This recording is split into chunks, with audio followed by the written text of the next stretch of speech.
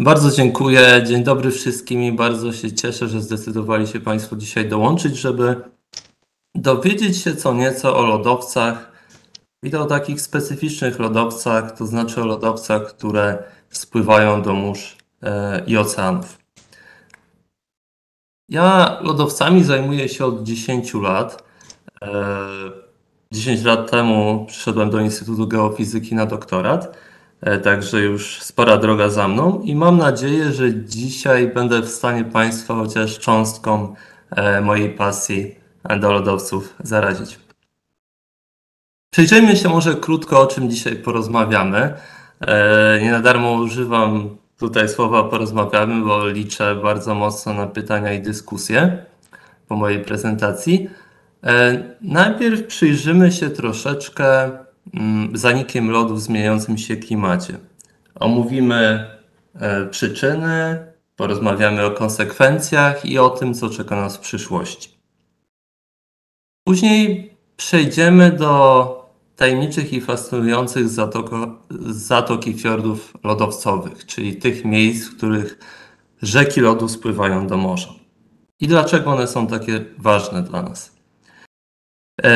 E, później porozmawiamy o tym, dlaczego i jak lodowiec się cieli, czyli w jaki sposób powstają wielkie góry lodowe, a następnie przybliżę Państwu troszeczkę, jak prowadzić pomiary w tak niebezpiecznym środowisku a następnie podsumowujemy, czyli zasugeruję kilka takich faktów, które moim zdaniem warto zapamiętać.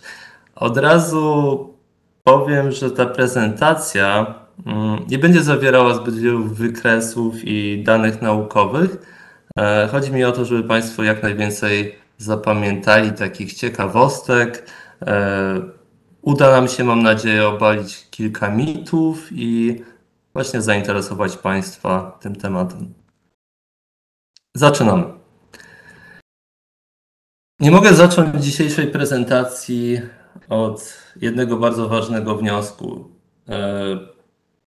Oczywistego, ale obserwując e, dziś programy telewizyjne, czy słuchając radia, czy chociażby słuchając rozmów w przestrzeni publicznej, można dojść do wniosku, że obserwowane zmiany klimatu nie do końca są,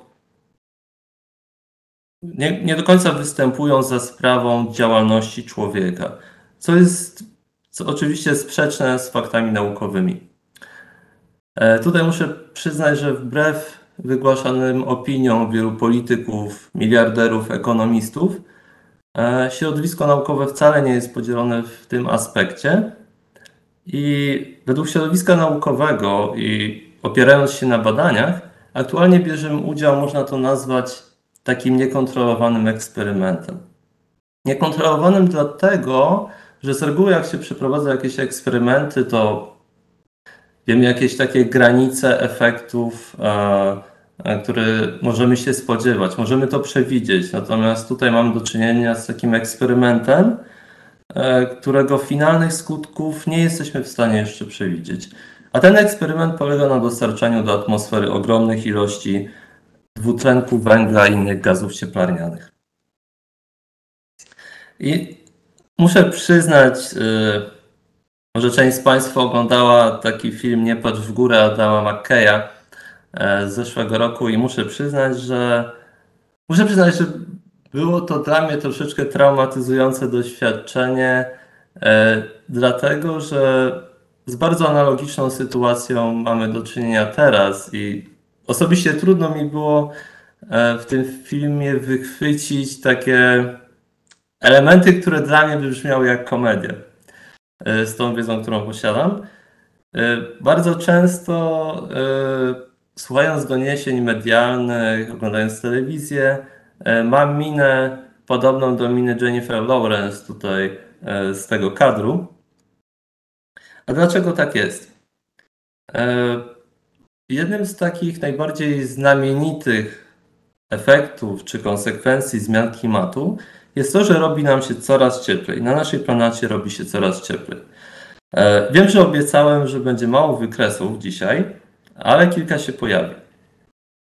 Tutaj po lewej stronie widzą Państwo, e, średnią temperaturę powierzchni Ziemi i jak ta temperatura się zmieniała od 1880 roku do 2020 roku, czyli tutaj są lata.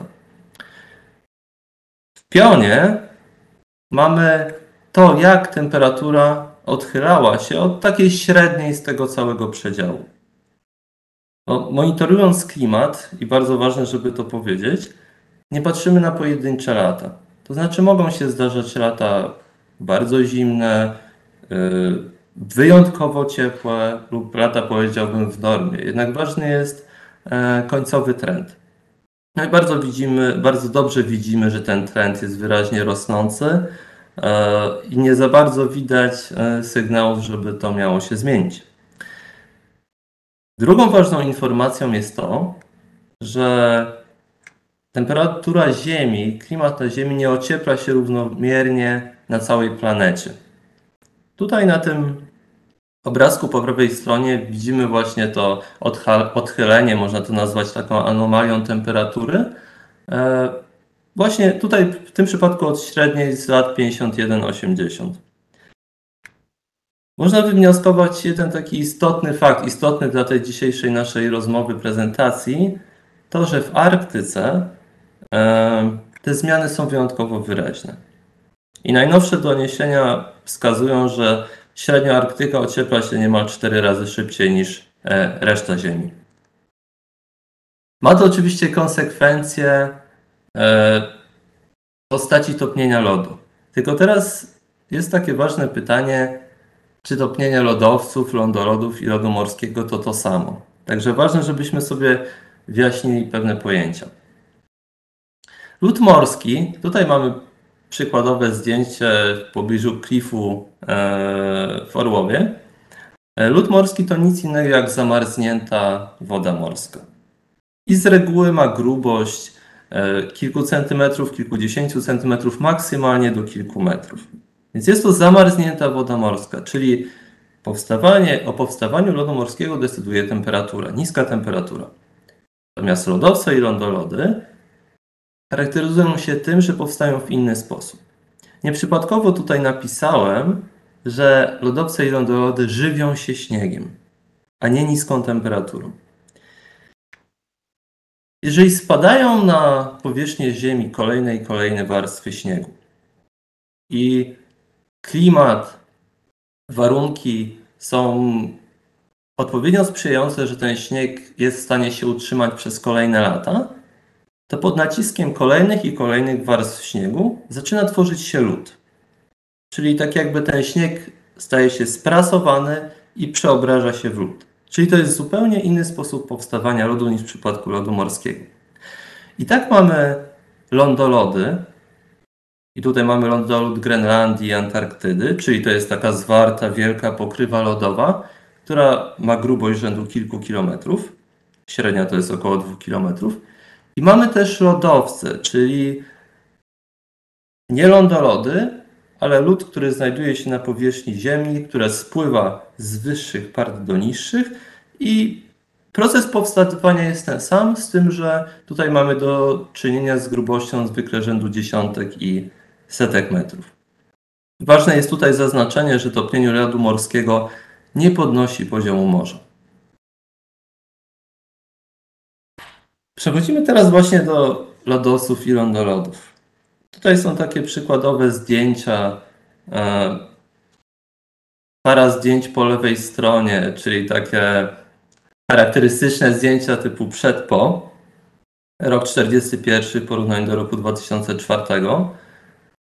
Widzimy, że tutaj cała ta masa lodu praktycznie zniknęła i powstała e, zatoka lodowcowa.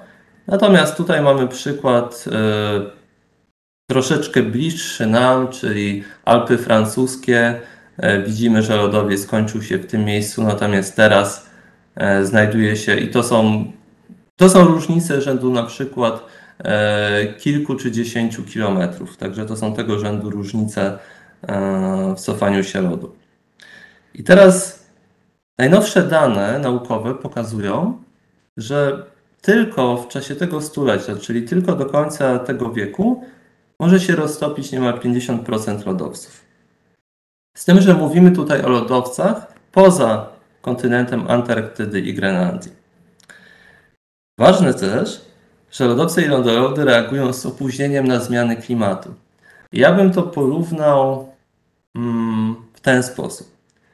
Lodowce to są takie samochody osobowe, natomiast lądolody e, to są takie wielkie tiry. I teraz, jeżeli te dwa rodzaje pojazdów, jeżeli się rozpędzą do jakiejś prędkości, oczywiście tir potrzebuje więcej czasu, żeby rozpędzić się do danej prędkości niż samochód osobowy, natomiast samochód osobowy szybciej jest w stanie zahamować, prawda? A lądolód bardzo szybko się rozpędza i bardzo długo zajmuje zanim, zanim zahamuje. I w podobny sposób reagują lodowce i lądolody. Lodowce reagują bardzo szybko, mamy zmiany klimatu i bardzo szybko obserwujemy ich e, topnienie. Dlatego w przeciągu ostatnich kilkudziesięciu lat to głównie właśnie na te mniejsze lodowce zwracając, zwracaliśmy uwagę, bowiem one najszybciej reagowały, natomiast lądolody potrzebują więcej czasu. I dlaczego to jest ważne? Przede wszystkim mówimy o wzroście poziomu morza. Tutaj mamy e, kolejny z bardzo nielicznych wykresów w czasie dzisiejszej prezentacji. E, na osi poziomej mamy rok, a na osi pionowej wzrost poziomu morza w centymetrach i tutaj w tym przypadku to jest liczone od 1990 roku. Ta linia to są pomiary satelitarne, natomiast linia niebieska to jest stopnienie lodowców i lądolodów, natomiast linia czerwona to jest rozszerzalność temperatura, temperaturowa wody. Topnienie lodowców i lądolodów oczywista sprawa. Natomiast rozszerzalność temperaturowa wody Wiem, że część ludzi jest bardzo zaskoczona tym, ale ogólnie woda zajmuje większą objętość, jeżeli jej temperatura wzrasta. Także i to jest taki samonapędzający się proces. To znaczy mamy ocieplenie klimatu, ocieplają się morza i oceany i wraz już sam fakt ocieplania się mórz i oceanów powoduje, że zajmują one większą objętość. Także to nie tylko lodowce i lądolody. Natomiast z tego wykresu myślę, że bardzo dobrze widać, że topnienie lodowców i lądolodów to jest około 60% aktualnego wzrostu e, poziomu morza. I teraz ważne jest zastanowić się, e, co nas czeka w przyszłości. To jest chyba takie kluczowe. Według najnowszego raportu takiego międzynarodowego panelu do spraw zmian klimatu, bardzo prawdopodobne jest, że do końca tego stulecia wzrost poziomu morza osiągnie 50 cm. Z tym, że nie można wykluczyć, że ten wzrost wyniesie nawet 2 metry. I tu mamy taki wykres obrazujący tą sytuację. Tu mam wzrost poziomu morza. Tutaj w tym przypadku to jest liczone od 1970 roku. I mogą Państwo zapytać, skąd tutaj te takie przedziały, to znaczy mamy linię, i mamy pewien taki zakres. Ten zakres to jest poziom takiego największego prawdopodobieństwa. My naukowcy bardzo lubimy mówić o prawdopodobieństwie występowania. To znaczy, um, trudno jest często mówić, że za 100 lat wzrost poziomu morza wyniesie, na pewno wyniesie tyle a tyle. Zawsze operujemy zakresem prawdopodobieństwa, więc są to bardzo prawdopodobne zakresy. I teraz widzimy dwie rzeczy. Po pierwsze, widzimy, że wysoka emisja gazów cieplarnianych w przyszłości, czyli krótko mówiąc, utrzymanie tego, co mamy teraz, doprowadzi do znacznie większego, y, do znacznego wzrostu poziomu morza, natomiast niska emisja gazów cieplarnianych do znacznie niższego poziomu morza. I teraz to jest taki pierwszy fakt. Drugi fakt jest taki, że ta nasza niepewność, czyli powiedzmy no niepewność tych naszych przewidywań wzrasta wraz z ubiegiem tych lat. To znaczy niepewność właśnie tych emisji, niepewność reakcji, głównie tutaj lodowców i lądolodów jest główną przyczyną um, tych marginesów błędów. I aktualnie jeszcze z takich ciekawostek największą zagadką i źródłem największej niepewności jest reakcja Antarktydy na ocieplający się klimat. Jeżeli chodzi o te emisje, to bardzo krótko chciałbym tylko podsumować, że nie jesteśmy na najlepszej drodze, e, żeby te emisje uciąć. E, a najlepszym przykładem na to jest stale wzrastające stężenie, koncentracja dwutlenku węgla. Tutaj są takie słynne pomiary e, na Hawajach w Mauna Loa, gdzie na osi pionowej mamy koncentrację dwutlenku węgla, a tutaj mamy rok. Widzimy, że jest to stały, stały wzrost i nic nie wskazuje na jakiekolwiek wypłaszczenie i na jakiekolwiek zahamowanie. I trzeba też przyznać, że te wzrosty są bezprecedensowe co najmniej, e, jeżeli chodzi o ostatnie 800 tysięcy lat. E, także, także nie jest to sytuacja naturalna. Dobrze, ale Powiedzieliśmy sobie o wzroście poziomu morza, ale co to tak naprawdę oznacza dla nas praktyce? E, przygotowałem takie dwie symulacje. To są na podstawie takiej strony internetowej, którą mogą sobie Państwo sami przetestować, gdzie możemy wybrać rejon, e, wybrać wzrost poziomu morza. Ja tutaj wybrałem 50 cm. No i te obszary, które są zaznaczone takim jasno-niebieskim kolorem, to są obszary przy takim podwyższeniu poziomu morza, zagrożone zalaniem. No i widzimy, nie musimy daleko szukać, żuławy wiśrane. E, często to zagrożenie zalaniem oznacza, że na przykład w okresie sztormów e, jakiś teren zostanie pod wodą. Na przykład e, według aktualnych szacunków na Starym Mieście w Gdańsku w czasie epizodów sztormowych możemy mieć wodę. E, żeby tak uzmysłowić tutaj skalę problemu. Tutaj jest Amsterdam i Holandia. Myślę, że większość z Państwa wie, że e, Holandia jest nisko położona, ma nisko położone wybrzeże.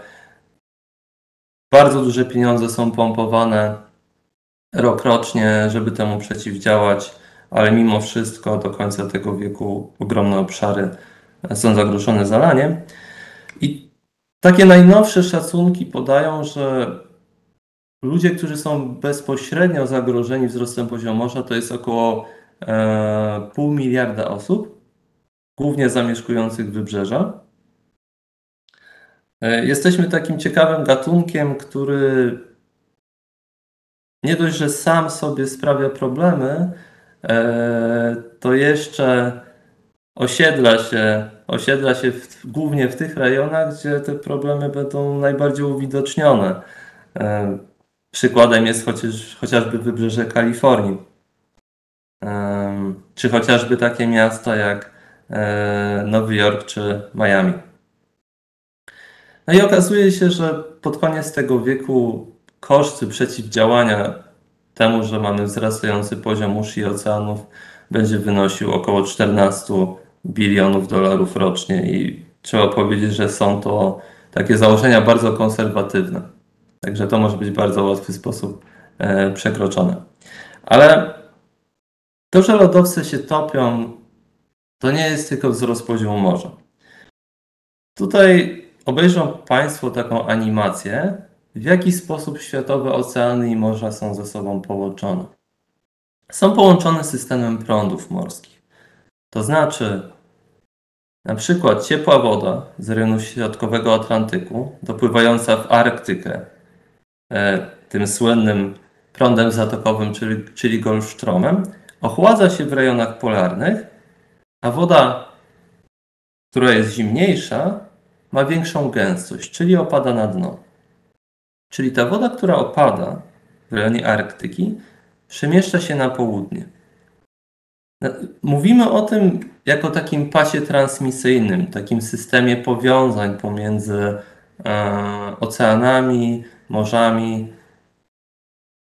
Tutaj widzą Państwo mm, taki wir wokół Antarktydy, gdzie w rejonie Antarktydy woda powierzchniowa również się wychładza e, i opada.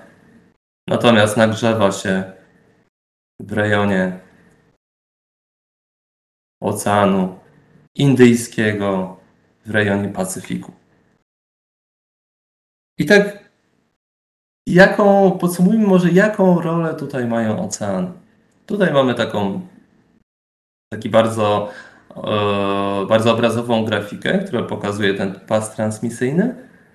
Ta wielka cyrkulacja oceaniczna, jak już powiedziałem, napędzana jest głównie przez wychładzanie wody w rejonach arktycznych i antarktycznych, ale także przez zasalanie.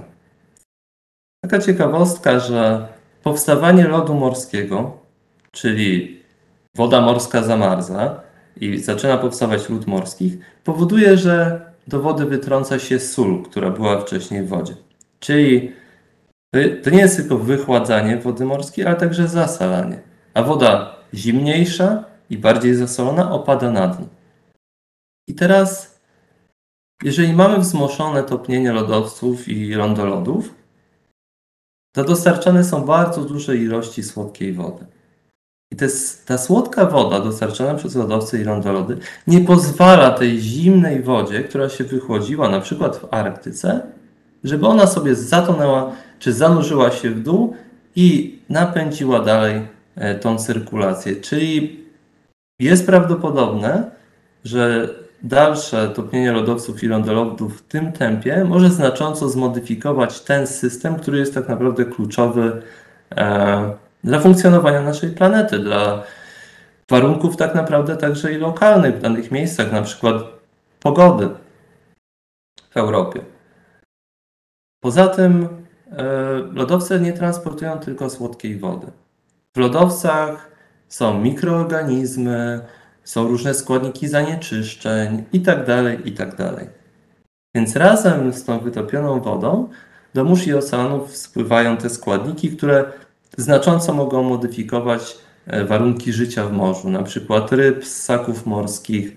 E, ogólnie cały system, e, cały system ekologiczny, troficzny, czyli cały łańcuch pokarmowy.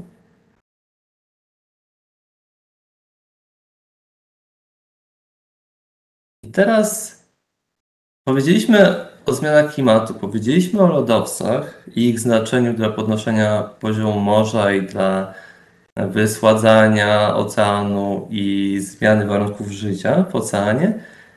Ale teraz może opowiedzmy troszeczkę o zatokach lodowcowych.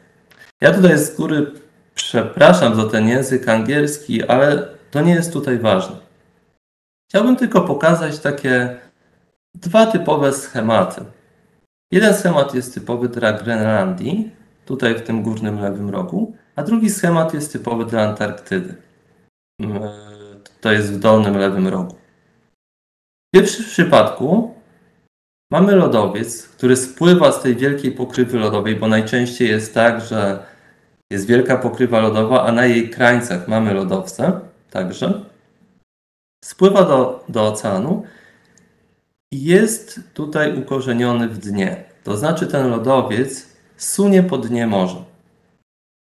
A drugi przypadek jest taki, ten taki charakterystyczny dla Antarktydy, że ten lód, który spływa z pokrywy lodowej, jest taką jakby półką lodową. Nazywamy to lodowcem szelfowym albo szelfem lodowym. Czyli to jest taki rozciągający się na szereg kilometrów, na dziesiątki, setki kilometrów, ee, taki pas lodu, czy taki jęzor lodowy, można by było powiedzieć, który sobie pływa e, na oceanie.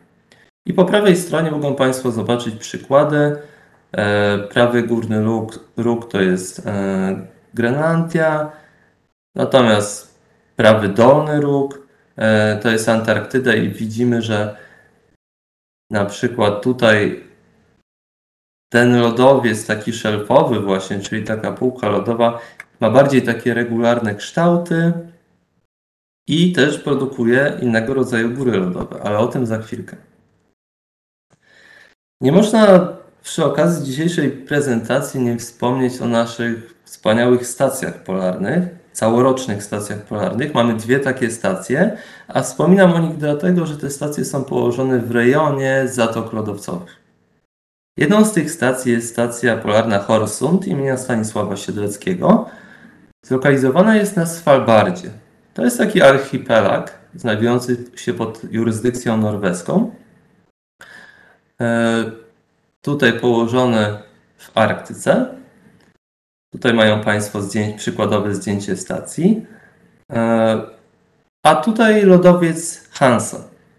Słynny lodowiec Hansa, e, który jest widoczny z okien stacji. Na stacji prowadzony jest wieloletni monitoring glacjologii, czyli zachowań lodowców, śniegu, meteorologii, badań takich oceanicznych i szeregu, szeregu innych, na przykład badania rzek, sejsmologiczne itd. itd.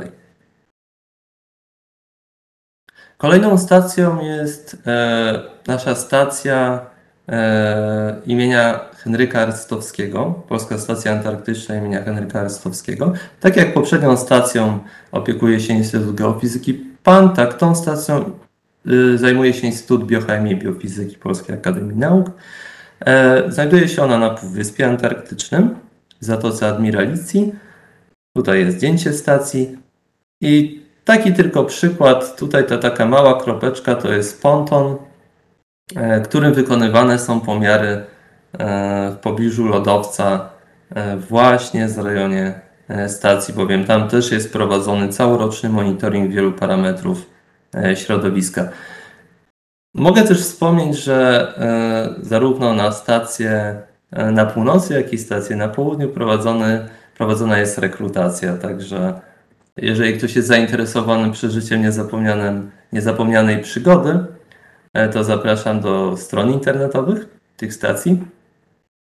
Ale teraz przechodzimy już do tego naszego głównego tematu, czyli dlaczego tak naprawdę lodowiec się cieli i w jaki sposób się cieli, czyli opowiemy sobie o powstawaniu wielkich gór lodowych.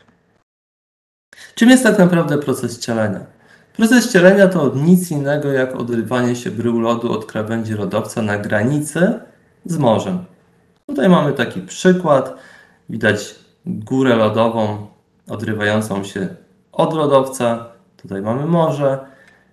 I chciałbym, że tak powiem kolokwialnie, zaszczepić w Państwu e, ważną rzecz dzisiejszej prezentacji. Taką, że cielenie się lodowca, czyli odrywanie się brył lodu, jest procesem całkowicie naturalnym, występującym od wieloleci, od setek tysięcy milionów lat. Ale jest ważna uwaga. Intensywność tego procesu zależy od panującego się klimatu. Albo inaczej mówiąc, dla danego lodowca możemy obserwować, będziemy obserwować znacznie więcej cieleń, czyli cielenia większej intensywności, w przypadku ocieplającego się klimatu, czyli takiego, jaki mamy teraz. Czyli tutaj widzą Państwo to połączenie, e, połączenie pomiędzy tym, co obserwujemy tak globalnie, a tym, co obserwujemy właśnie na lodowcach. Żeby powiedzieć co nieco o samym cieleniu, trzeba trzeba najpierw wspomnieć o tym, że lodowiec tak naprawdę to jest taki żywy organizm. To znaczy nie jest to masa lodu, która tak kolokwialnie mówiąc siedzi sobie w jednym miejscu i się nie porusza. Tak jak wspomniałem, w pewnym momencie lodowce spływają z wyższych partii do niższych. I tutaj mamy takie przykłady. Po lewej stronie widzą Państwo lodowiec na Grenlandii. Tutaj jest jego czoło, czyli granica pomiędzy lodem i morzem. Tutaj są góry lodowe zanurzone w morzu. Czyli jest to taka jakby masa plastyczna, taki, można powiedzieć, taki budyń jakby, który spływa ze stoku. Z, niższy, z wyższych do niższych rejonów. Tutaj po prawej stronie zdjęcia poklatkowe, które może nawet lepiej to obrazują. Teraz jeżeli lodowiec nie jest takim martwym ciałem, tylko jest czymś, co się porusza, w uproszczeniu mówiąc, to mamy do czynienia z bardzo ciekawymi procesami. Przede wszystkim, żeby mogło nastąpić cielenie, czyli żeby bryła lodu mogła się oderwać od lodowca, musi coś pękać. Jest to takie oczywiste, prawda? Więc mówimy o szczelinach w lodowcu, czyli o pęknięciach, tak jak tutaj widać po prawej stronie, na tym obrazku po prawej stronie.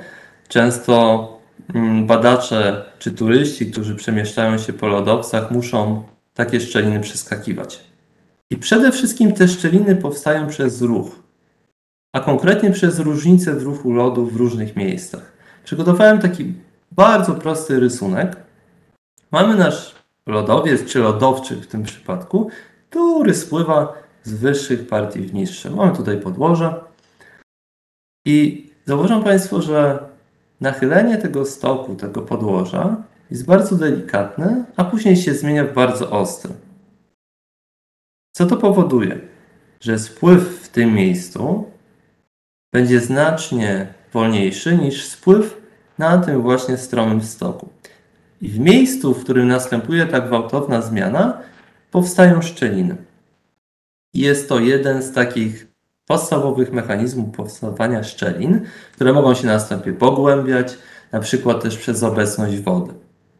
Na przykład z opadów deszczu albo z tego, co się wytopiło na powierzchni e, samego lodowca. I teraz jak wyglądają takie szczeliny w praktyce? Po lewej stronie mamy zdjęcie satelitarne jednego z lodowców właśnie na Svalbardzie, na, jej, na jego najwyższej wyspie, czyli największej wyspie, czyli Spitsbergenie.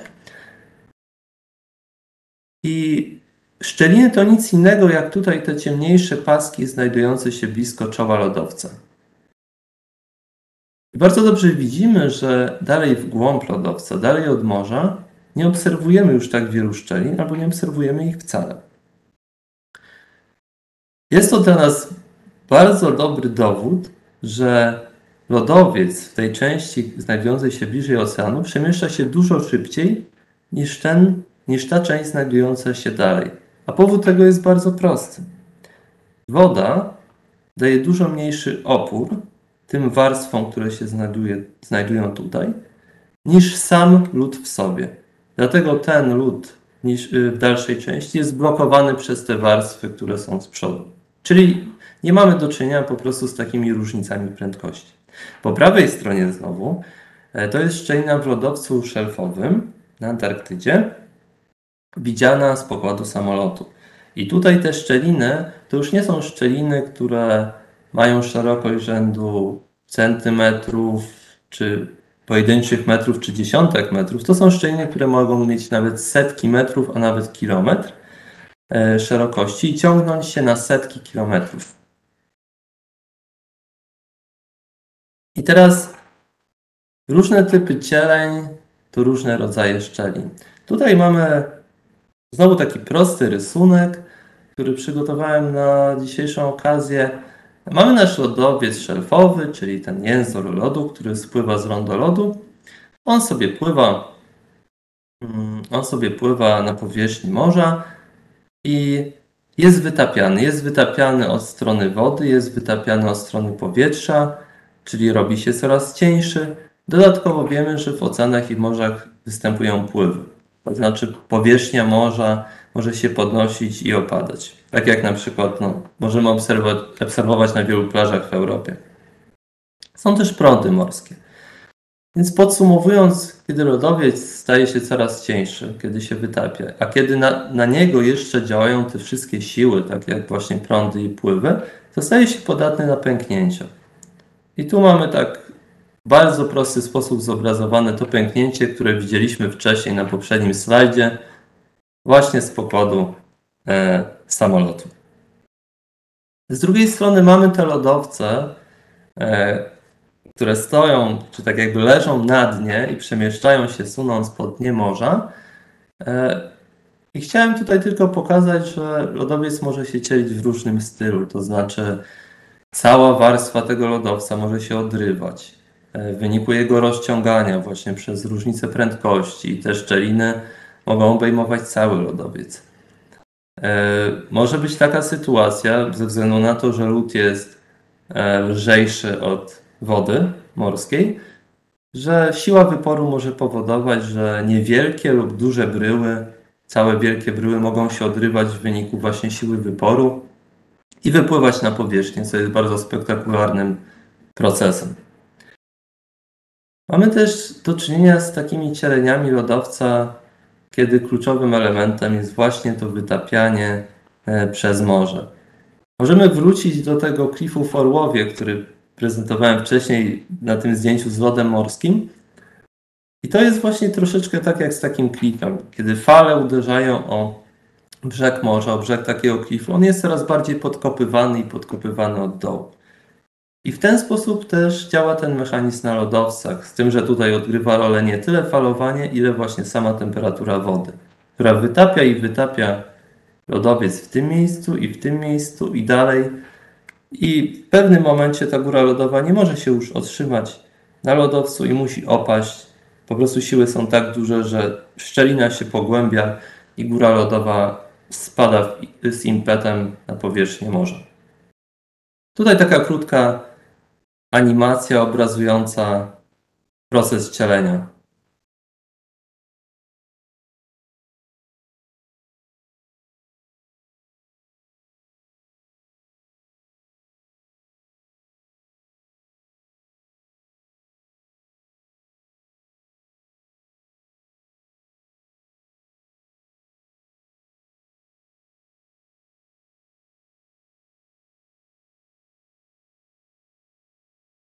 Tak, więc myślę, że ta animacja świetnie pokazała, jak to wygląda w praktyce, ale warto jest też pokazać i zastanowić jak to wygląda już kiedy jest się tam na miejscu w Zatoce Lodowcowej. Tutaj taki przykład pokażę animacji filmu e, z cielenia e, lodowca w Parku Narodowym na Alasce. I chciałem tylko tutaj dla zobrazowania wielkości tych gór lodowych pokazać. Nie wiem, czy Państwo to kojarzą Atlas Tower w Alejach Jerozolimskich. To jest byłem Millennium Plaza. W każdym razie ten budynek ma około 116 metrów wysokości, 31 kondygnacji. I właśnie mniej więcej z taką wysokością mamy do czynienia e, na tym filmie.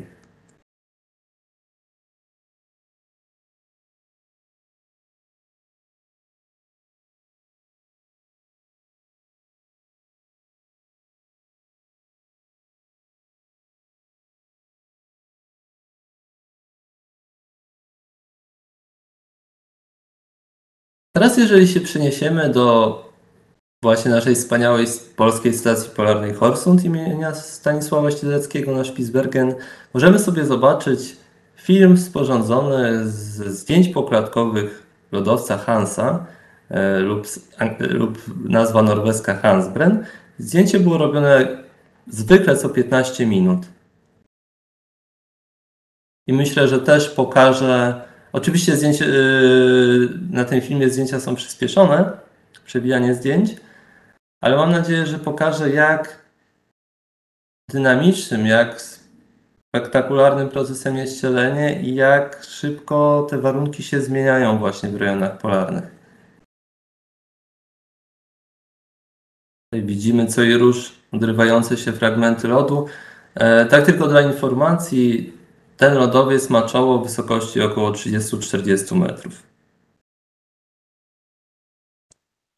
Tu z kolei seria zdjęć poklatkowych, które pokazują właśnie przykład cielenia podwodnego, które jest bardzo niebezpieczne e, zarówno dla turystów, jak i dla badaczy, bowiem nagle, głęboko, bez żadnego ostrzeżenia, głęboko e, spod wody może się wynurzyć wielka bryła lodowa, wielkości właśnie e, kilkunastu, tu kilkudziesięciu kondygnacji e, takiego typowego e, budynku.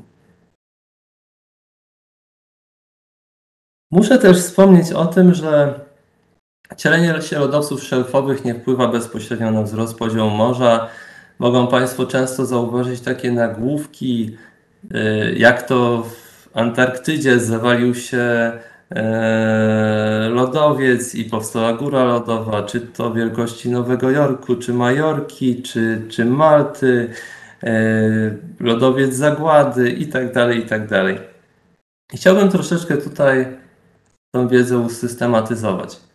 E, to znaczy, lodowiec szelfowy to już jest taki lodowiec, który już pływa na powierzchni morza. I warto zapamiętać, że jeżeli lód już pływa na wysokości morza, na, na, na, na powierzchni morza, to jego roztopienie się nie spowoduje e, jego, wzrostu jego poziomu, czyli tak jak na przykład lodu morskiego. Czyli takie cielenie samo w sobie, mimo swojej wielkiej skali, e, bo często to jest skala naprawdę ogromna całych e, stanów, na przykład w USA albo niewielkich krajów w Europie. Czyli tak jak powiedziałem, powód, nie są one umocowane na dnie morza. Ale trzeba pamiętać, że wpływają w sposób taki pośredni na wzrost poziomu oceanów. A dlaczego tak się dzieje? Wracamy do naszego rysunku lodowca szelfowego. E, więc mamy ten spływ lodu i ten lodowiec szelfowy, który spływa do oceanu, działa jak taki korek. To znaczy on troszeczkę tak jakby trzymał ten lądolód e, i powstrzymywał go od tego, żeby ten lód z wyższych partii spływał do oceanu. Czyli, krótko mówiąc, ten korek zapobiega dostawie lodu do morza. Czyli widzimy tutaj już innego rodzaju proces. Już nie mówimy teraz o roztapianiu się czegoś, co pływa na powierzchni morza, tylko mówimy o tym, o dostawie lodu, który znajduje się na kontynencie, czy to na, na przykład na kontynencie Antarktydy. Czyli krótki wniosek jest taki, że mimo że cielenie lodowca jest procesem naturalnym, jego intensywność może wzrastać przez ocieplanie się klimatu, bowiem właśnie topnienie tych lodowców szelfowych i szybsze, szybsze topnienie lodowców szelfowych i usuwanie tego korka może przyspieszyć właśnie ten spływ lodu e, z lądolodów, co ma tak naprawdę miejsce. W jaki sposób mierzymy te procesy? Tutaj bardzo krótko, tylko chciałbym podać przykłady. E, jak widać, są to rejony bardzo niebezpieczne i niedostępne. Więc jak robimy tam pomiary? Podstawowym chyba takim narzędziem są pomiary satelitarne, e, gdzie obserwujemy pozycję czuł lodowców. Na przykład tutaj jest pozycja czoła lodowca Jakobshavn na Grenlandii. E, nawiasem mówiąc, to ten sam lodowiec, który tak powiedziawszy, jest obciążany e, za zatopienie Titanica, to znaczy najprawdopodobniej góra lodowa pochodząca właśnie z tego lodowca, jednego z najszybszych lodowców na świecie, który potrafi się ruszać z prędkością kilkudziesięciu metrów na dobę, spływać z taką prędkością. E, w każdym razie zdjęcia satelitarne e, mogą nam zobrazować zmianę pozycji czoła lodowca. Jednak jest pewien problem. Zmiana pozycji czoła nie mówi nam wszystkiego, bowiem lodowce są w ciągłym ruchu i właśnie ten ruch musimy też uwzględniać w naszych pomiarach. A zdjęcia są wykonywane co kilka lub kilkanaście dni, więc też niezbyt często. I te zdjęcia, które są wykonywane w świetle widzialnym, oczywiście są bezużyteczne. Jeżeli chodzi o noc polarną, czy na przykład e, takie sytuacje, kiedy mamy duże zachmurzenie. Możemy wykonywać zdjęcia poklatkowe lodowca i w ten sposób śledzić na przykład zjawisko cielenia, e, ale jakość tych zdjęć często pozostawia bardzo dużo do życzenia. E, w tych rejonach często mają miejsce opady, mgły. E, poza tym, oczywiście, w takich trudnych warunkach arktycznych często sprzęt, taki jak aparaty, potrafi, potrafi odmawiać posłuszeństwa.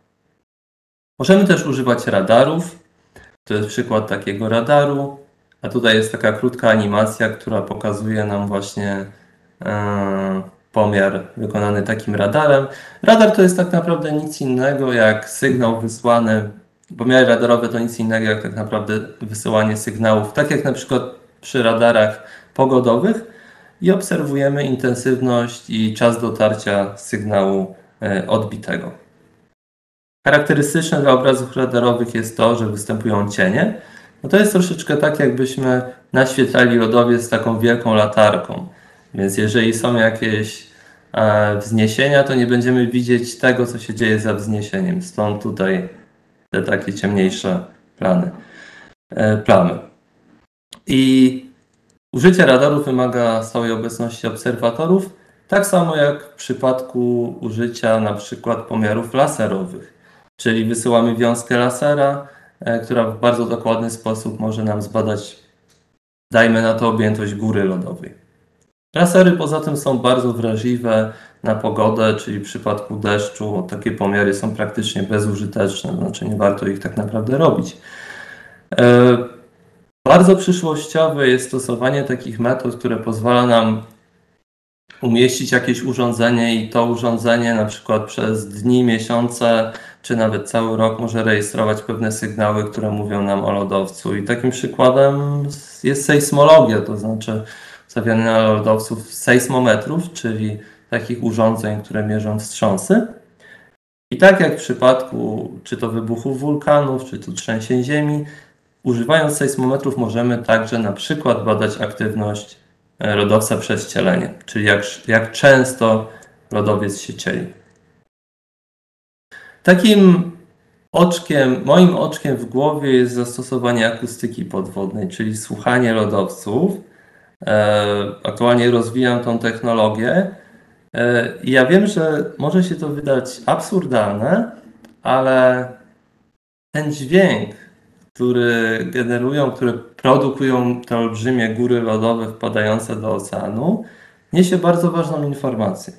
To znaczy, poprzez analizę tych dźwięków, słuchanie i analizę tych dźwięków, możemy na przykład powiedzieć, e, jaki był ubytek lodu właśnie przez dane cielenie. I pod, stosujemy w tym przypadku takie podwodne mikrofony, które nazywają się e, hydrofonami. I mam nadzieję, że może to być ciekawy temat na e, nasze inne spotkanie, na inne webinarium, bowiem temat jest szalenie interesujący. Stosowane, stosowane są różne pojazdy, czy to powietrzne, czy nawodne, czy, czy podwodne. I tutaj Zaprezentowałem kilka takich przykładów. E, taki powiedzmy kajak zdalnie sterowany, dron, który ma tutaj dodatkowo takie poduszki, które umożliwiają, e, które umożliwiają mu lądowanie, które umożliwiają mu lądowanie na powierzchni morza i umieszczanie pewnej aparatury e, w oceanie, czy też takie pojazdy, które troszeczkę wyglądają jak torpedy, które mogą na przykład podpłynąć pod szelf lodowy, pod tą taką półką, półkę lodową na Antarktydzie i takie pomiary są, e, są robione. Mm. Więc jest cały szereg, cały wachlarz takich narzędzi, które stosujemy i trzeba powiedzieć i trzeba zaznaczyć, że wykonywanie pomiarów w bliskiej odległości od lodowców jest z jednej strony niebezpieczne i właśnie to, to niebezpieczeństwo powoduje, że jest to duże wyzwanie współczesnej glacjologii, czyli współczesnych badań lodowców. Tutaj chciałem Państwu jeszcze tylko pokazać, że czasami naprawdę trzeba się zanurzyć. Tutaj wspólnie z moim kolegą, doktorem Mateuszem Moskalikiem z Instytutu Geofizyki PAN, e, zanurkowaliśmy właśnie w tej zimnej wodzie e, Zatoki Lodowcowej na Spitsbergenie w pobliżu Polskiej Stacji Polarnej, żeby wydobyć e, urządzenie, które rejestruje podwodne dźwięki. To jest ta taka żółta boja, którą widać pod wodą. Mogą Państwo zobaczyć, jakie są to warunki. E, nie jest to nurkowanie w Egipcie. E, krótko jeszcze chciałem powiedzieć, jakie aktualnie badania prowadzimy w instytucie, e, które odnoszą się właśnie do lodowców wchodzących do morza. E, aktualnie jestem kierownikiem projektu, e, w którym stosuję takie nowatorskie połączenie właśnie metod akustycznych i metod optycznych, czyli na przykład laserowych czy, czy zdjęć poklatkowych, żeby zbadać przebieg właśnie zjawisk cielenia na Spitsbergenie. E, natomiast mój kolega, dr Mateusz Moskalik, jest kierownikiem grantu ROW, recesja i więdnięcie, e, czyli jak, jak wpływają lodowce na ekosystem morski. Czyli jak zmieniają biologię i chemię morza, jak wpływają na organizmy, jak wpływają na zadmętnienie morza i tak dalej, i tak dalej. Te granty są finansowane ze źródeł Narodowego Centrum Nauki, ale także wsparte przez e, fundusze norweskie, jak w przypadku e, Grand. Co warto zapamiętać z tego dzisiejszego, nie chciałbym tego nazwać wykładu, bo bardziej um, myślę o tym, jak do takiej prezentacji, która ma Państwa zainteresować tym tematem. Po pierwsze, spalanie paliw kopalnych przez człowieka, czyli ten nasz eksperyment, doprowadziło do wytrącenia klimatu ze stanu równowagi, a zarazem lodowców. Ten, ta, zmiana, ta zmiana klimatu e, i zanik lodowców to jest główny sprawca aktualnego wzrostu poziomu morza, odpowiada za około 60% wzrostu poziomu morza. Ponadto lodowce i lądolody wysładzają ocean i zmieniają diametralnie warunki życia w morzu. Dla ssaków morskich, dla ryb, e, dla roślin e, obrastających na przykład e, dno morza i tak dalej, i tak dalej. Bardzo ważne jest, że powstawanie gór lodowych przez rozpad lodowców, czyli cielenie, o którym tak dużo dzisiaj mówiliśmy, to proces naturalny. Czyli lodowce się cielą i zawsze się cieliły, ale ważne jest zaznaczenie, że intensywność tego procesu zależy od klimatu.